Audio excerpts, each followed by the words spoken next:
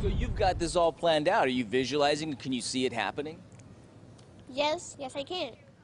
Is he cute or what? Wow. A local boy's vision to help find a cure for a devastating disease comes from a personal loss.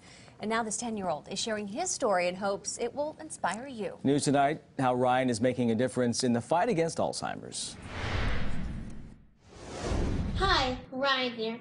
Mom and I are raising money for ALZ research. ALZ as in Alzheimer's disease. This is Ryan's great grandfather, Richard Golden from Clarksburg. As you can see, the two were close. So after Mr. Golden died last year as a result of the brutal disease at the age of 81, Ryan, with the help of his family, made it his mission to raise research funds and support money for caregivers dealing with Alzheimer's. And he's doing it in a way, well, that's perfect for a 10 year old boy.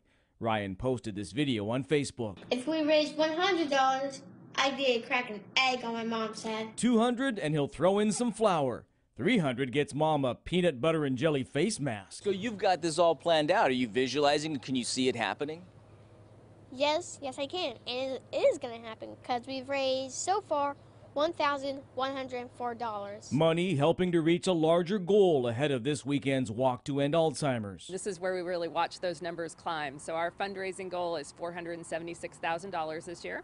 Um, we're over $300,000 towards that goal. Ryan's mom, Ashley, points out getting children involved in this type of fundraising can help ease the pain of seeing a loved one change before our eyes. It took a lot of that fear out, and they were able to go visit him in a place that was unfamiliar to him and still spend time with him, even though he didn't act like who he was before. But to Ryan, he was still great grandpa, and his memory, although stolen from him, lives on through loved ones.